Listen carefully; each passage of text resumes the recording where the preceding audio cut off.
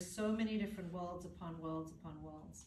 And that's why it's frightening for people to awaken because when we awaken, we get the good, the bad, and the ugly, right? Mm-hmm. You don't just awaken and see angels and fairies and light beings, you also see the dark beings too. And that's why we have to attain a level of mastery before we do healing work or before we do um, energy work or before we do interdimensional work or before we awaken our third eye. So many people come, Mirabai, please open my third eye.